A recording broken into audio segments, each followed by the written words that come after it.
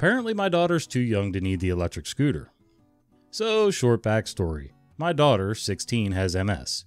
It's taken a lot from her, including her balance and vision in one eye. She can walk with her walker, but we're only up to about 250 feet. Definitely not far enough to make it through a big box store trip. So she uses the electric carts. Okay, so y'all know where this is going. Here we are, walking slash riding, doing our shopping. When an older gentleman walks up and tells my kiddo she needs to get up and let people who need the carts to use them. I kind of smile, trying not to let this go left, but the mama hairs were rising. He then raises his voice and says she's young and lazy, so she should give the cart to someone else. I went back and forth in my head for a second on how to deal with this before I finally was like, you know what? Key Caregiver Jr., walk up and walk over to the kind man. She laughs and does that. Without a better way to describe it, when she walks, she looks like someone who's had seven shots too many. I then help her back into the cart. And my kid, being my kid, looks him in the eyes and slightly raises her voice and tells him, And see, boys and girls, this is why we don't judge a book by its cover. What's up, guys? Welcome back to Storytime with Uncle Jon. Today we're taking a look at entitled people. I gotta say, it's pretty rare that I've ever encountered anybody that ballsy on the entitled side of the camp um, out in public.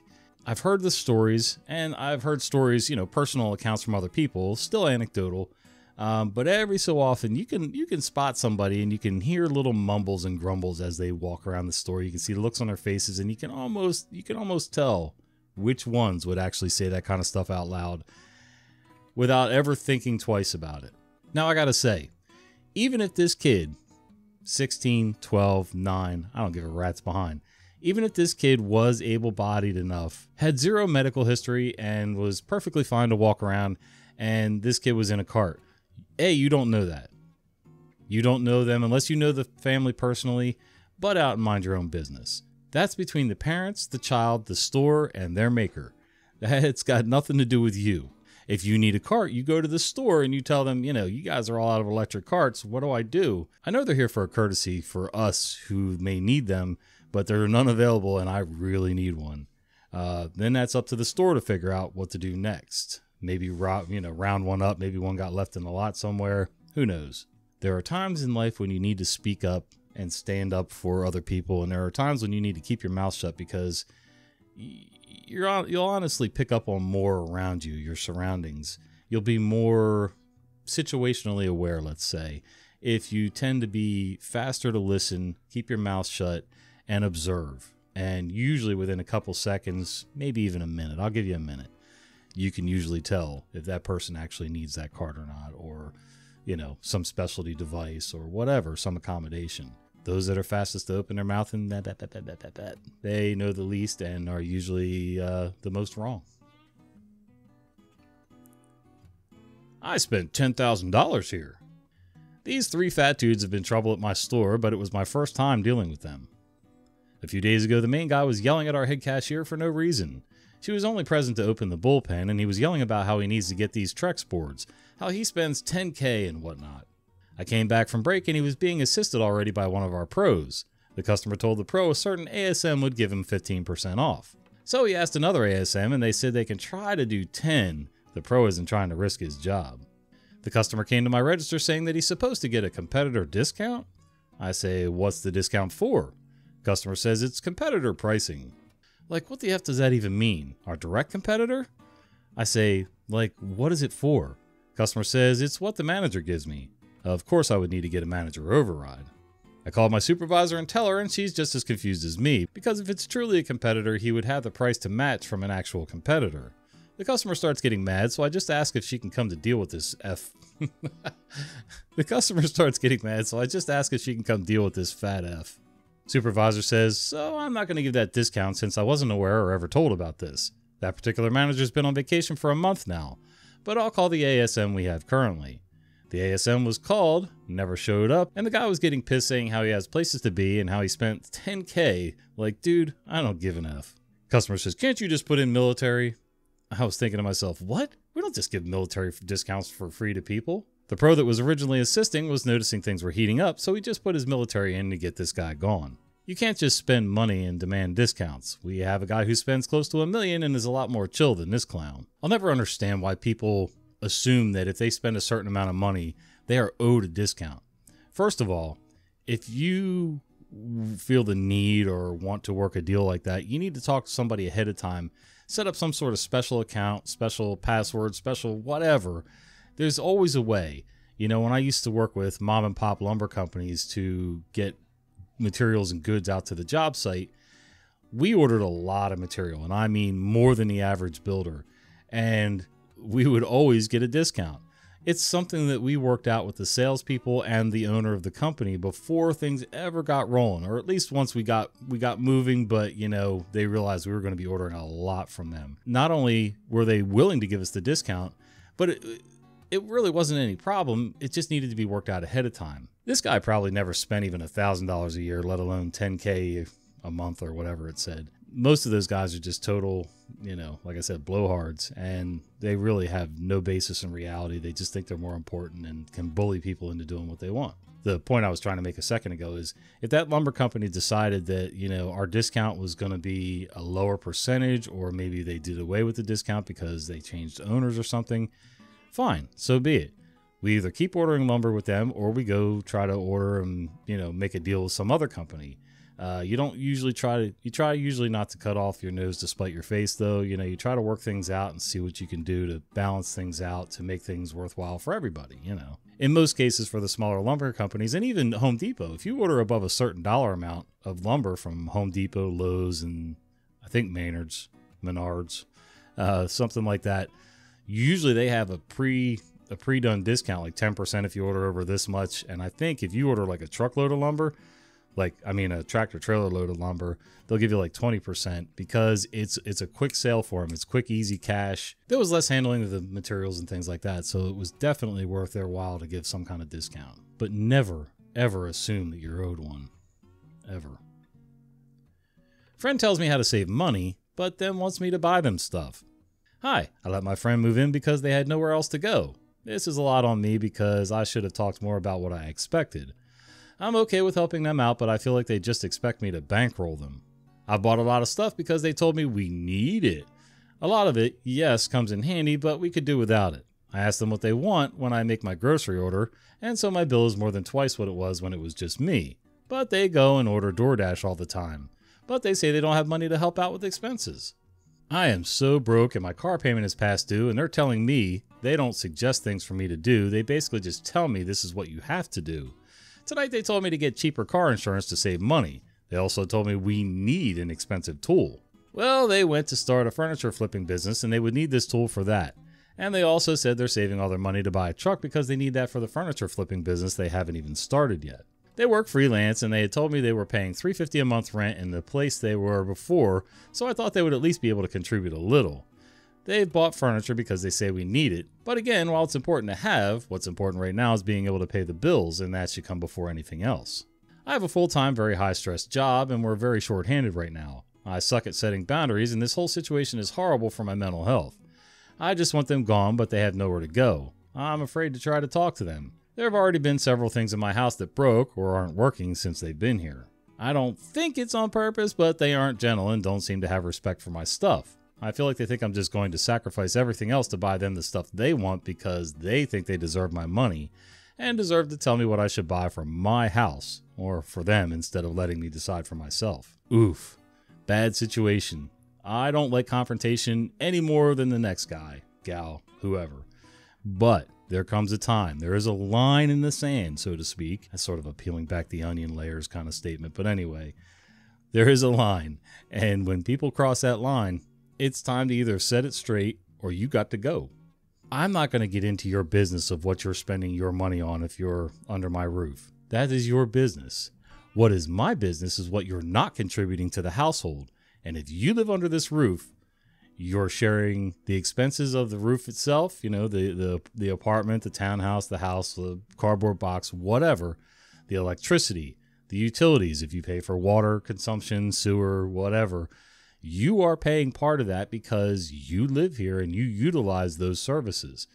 Now, I'm not expecting you to pay an equal share necessarily because A, you may be destitute and need help, but you got to help where you can. You're eating the food, you help pay for food. If you're ordering all DoorDash, that's on you because it's way too expensive to keep doing over and over.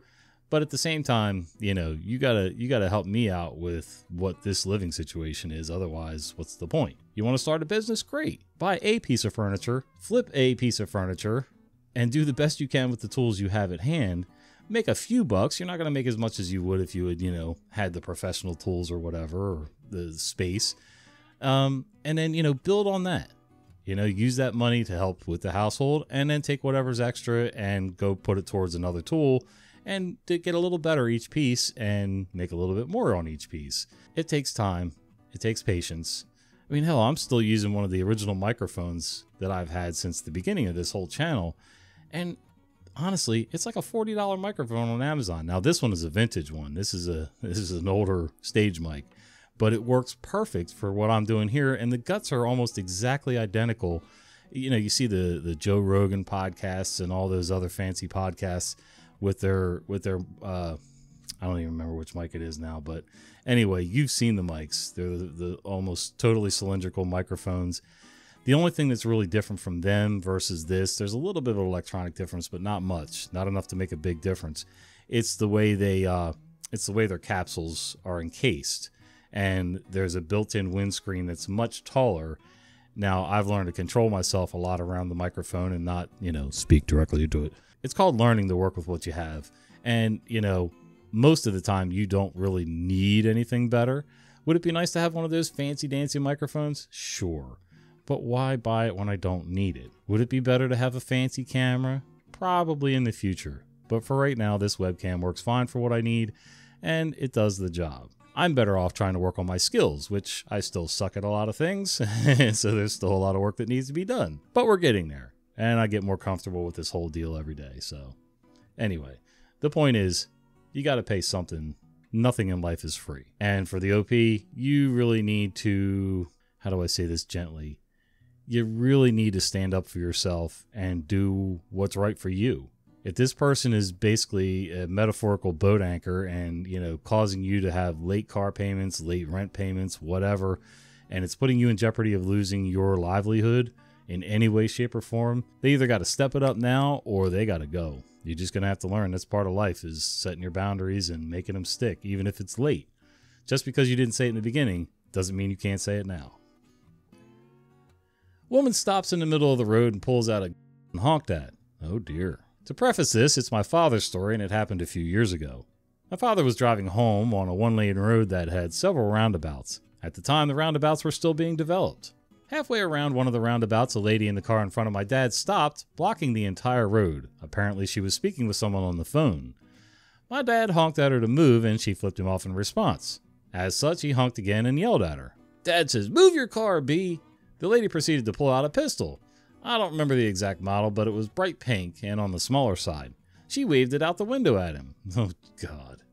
One thing about my dad is that he lives in a Second Amendment state and owns several registered firearms. He proceeded to pull out a 9mm and yell, Mine's bigger. Suddenly, the lady didn't want to talk on the phone anymore. She sped off, never to be seen again. Whenever he tells this story, he loves to end it off by saying, That's the first time I got to tell a woman that mine's bigger. Listen, I don't know if you know this about me, but I am 100% all the way in support of 2A. There shouldn't be any doubt in anybody's mind. But with rights comes responsibilities. One of those is knowing the laws, the current laws. Whether you agree with the laws or not, we still need to follow the laws. If you're willing to break them and take the consequences, more power to you. You know what the consequences are, or you should know. Sadly, most people don't study enough to actually know. They just grab it and go. They do their waiting period or whatever's required, put down their cash, and then, you know, start carrying like like an idiot. That'd be like taking my kids as soon as they turn 15 and a half, 16, whatever the laws are in your state. Actually, Jersey used to be 17. I don't know what it is these days, but anyway, and throwing them behind the wheel of a car, you know, no lessons, no nothing, just hey, have at it. Just, you know, point and shoot. you know, it's dumb.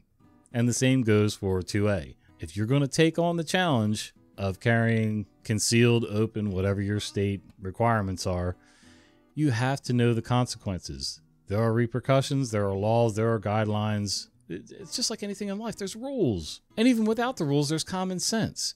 Even back in the Wild West, which wasn't as wild as most movies portray, but anyway, you know, people didn't just brandish for the sake of brandishing because there's always somebody who's either got a bigger one, they're faster, or there's more of them. So no matter what, there's always going to be somebody that can outdo you in one way, shape, or form. Don't start brandishing.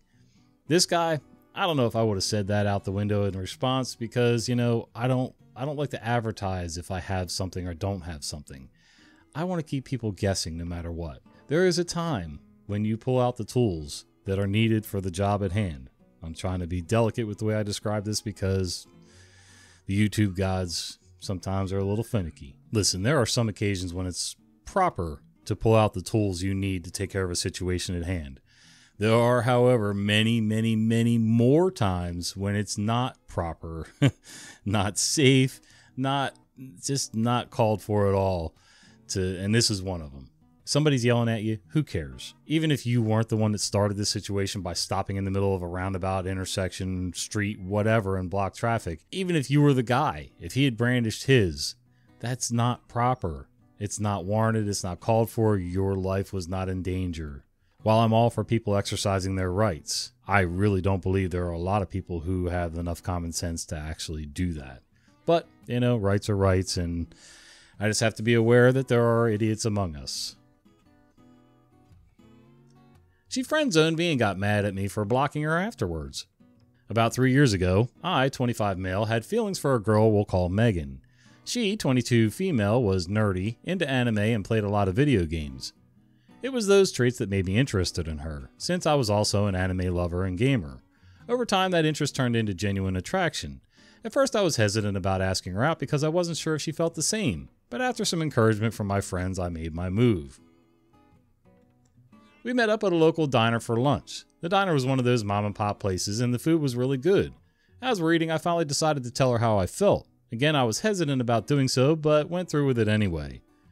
She seemed receptive at first, and she asked me what it was about her that made me interested in her, so I listed a few things. Her interest in anime, her taste in video games, her dark sense of humor, things like that. I didn't want to ask her to be my girlfriend right then and there, so instead, I asked if she would be up for getting to know each other more and maybe going on an actual date or two to see where things go from there. She then goes on to apologize and say that she does like me, but only as a friend.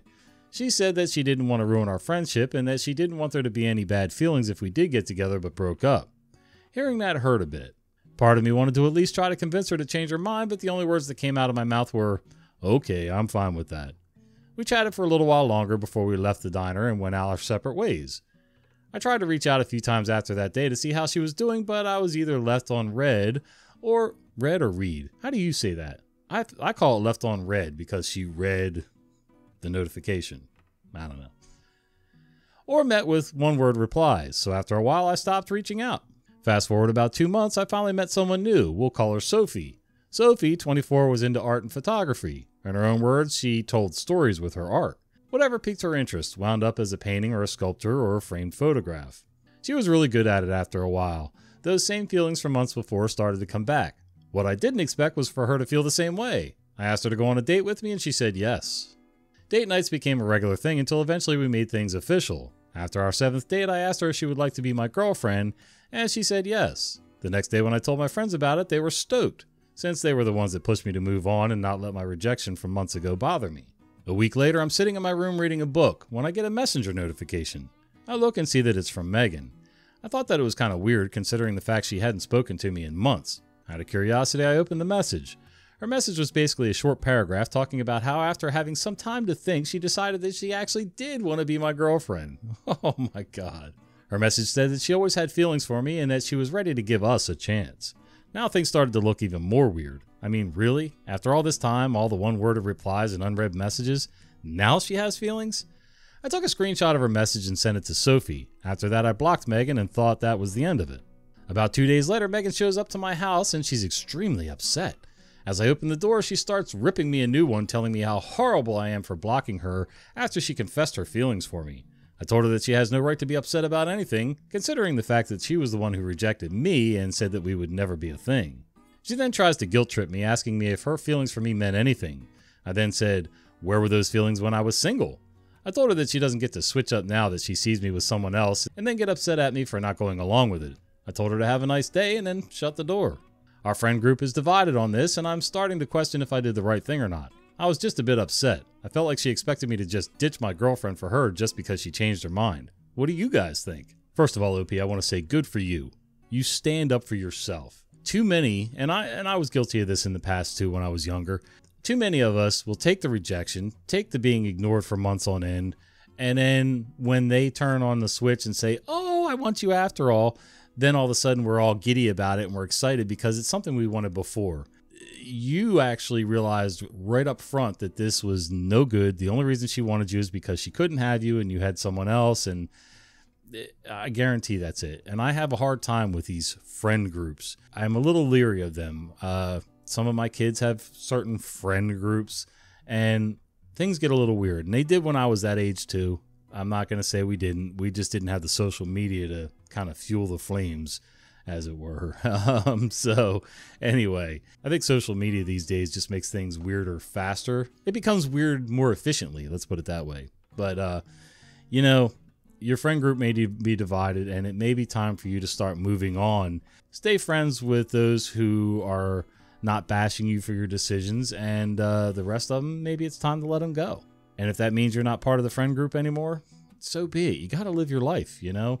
I never understood why people thought that they could control other people by guilting them into things or, you know, browbeating them, whatever the case may be. Coming from someone who had many, many rejections, you know, coming up as a teenager and young adult, I can truly say that for the most part, I kept myself out of trouble and didn't let myself fall for the old, you know, well, now that I can't have you, or now that you have this girlfriend, you know, now I want to be your girlfriend. No, no, no, no. Thank you anyway.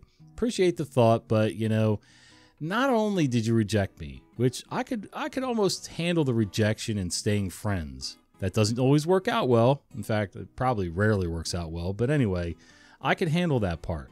The part I can't handle is after you say you want to remain friends and then you ghost me for months on end.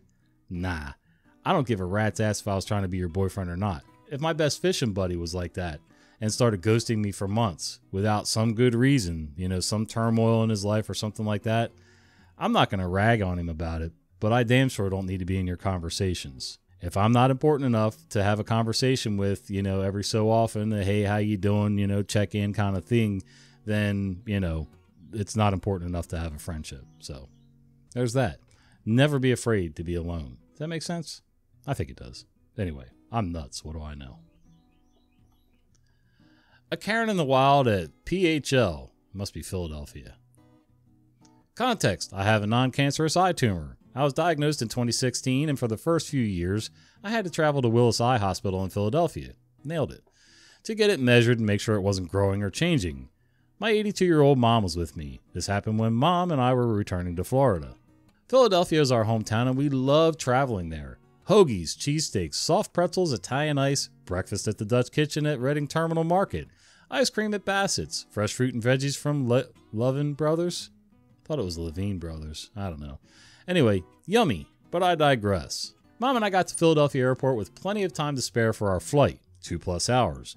We went through TSA and got to our gate. My carry on was a bag of food pretzels for dad, a leftover roasted cinnamon bun from Dutch Kitchen, Goldenberg's peanut chews, all of our favorites. We get to our gate and there's no one there. It's just her and I. We choose three seats at the front of the seating area for our gate. Front row center, baby. Mom and I sit down with the bag of snacks on the seat between us. Again, there's not another soul in the gate area, not even a gate agent at this time. Mom says, basically, gotta go to the ladies' room, be right back, and takes off. I'm playing on my phone, reading the news, whatever, when along comes a Karen in the wild and she sits down on my mother's seat. I look over, see it's not my mom, and say, Oh, I'm sorry, ma'am, my mom is sitting there. She makes a big, exaggerated show of looking around and says, Well, I sure don't see her. I said, She ran to the ladies' room, but she'll be right back. Karen rolls her eyes at me and says, Fine, I'll sit there, and points to the seat that's housing our precious cargo. At that point, I literally laughed out loud. I said, No, you are not sitting in the seat between me and my 82 year old mother. There are plenty of other seats around here. You do not need to have any of these three that we're seated in. To which Karen says, I'll speak to the gate agent about this and then stalks off and finds a gate agent at another gate. Karen brings her back to our gate. Karen tried to bring her over to me, but the agent stayed in the podium. I couldn't hear what was being said, but Karen was gesticulating wildly, and I could see the gate agent giving her the palms down, calm down sign. I have no idea what was said, but Karen ended up coming back over and sitting in the seat directly behind me. I laughed again. Mom comes back and I'm still laughing. She asked me what was so funny, so without lowering my voice even a little bit, your reliable narrator was not going Soto voice for this one. Soto, Sato, I don't know. Tell me what that is down below. I told my mom the whole story, laughing while I'm telling it and making no show whatsoever that I care that this woman is sitting right behind me. I don't know if she felt shamed or what, but she did end up moving to another row where she couldn't hear me telling my mom about what an idiot she was. Mom's like, What's going on? I'm like, pointing my thumb over my shoulder. See this one? She tried to take your seat. So mom and I have a nice conversation about what a lunatic she was. I'd move seats too. Interesting note when the flight was boarding, we saw that Karen had, somehow or another, sucked up to someone in a wheelchair and was getting early boarding. She claimed to the gate agents that she was this person's assistant. Seems like Karen wanted our seats to get some kind of early boarding. This was Southwest. At the time, and I haven't flown since this trip, it was group boarding. Karen must have had like Group C. Poor little snowflake. Alright, so let me start off with I absolutely love Philadelphia cheesesteaks. Now, in the grand scheme of things, they really aren't anything that special to me. They are made with Cheez Whiz, the good ones. And Cheez Whiz is not really all that good for you, but it really is good on a hot sandwich, all melty and gooey and messy. And yeah, Philadelphia soft pretzels, love the soft pretzels, but 90% of the time when you get them, they're from a roadside vendor and they're cold. that's no fun, but you know, they still taste good. Some of the other stuff, not too sure about. Haven't been to Reading Market in forever, so I don't even know what's there anymore. Not too long after I got out of the service, we built a nightclub in downtown Philadelphia uh, along Delaware Avenue, along the waterfront. It was a section of warehouse that had been torn down years ago. There was an interior nightclub called the Aztec Club, and uh, it was mostly on the second floor. So you had to come up some stairs after you, you know, pass the door guys and all that stuff and then they had a balcony out on the outside of the building that was left.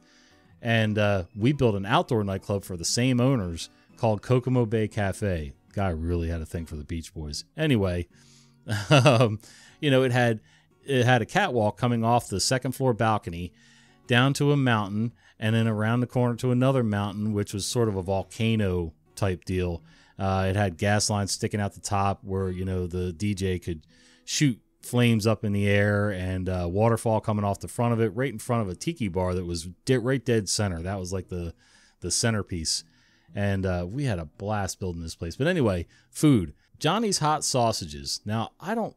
Some people call it Johnny Pollock's. I don't think so. I think this was another. I think this was a little independent guy, but there was a dock around the corner where all the city uh, trash trucks and you know solid waste trucks would go to load their stuff on the barges and right in front of the gate to this place was this little shack. It couldn't have been more than 10 by 20 uh, with a roll up door in the front from the countertop.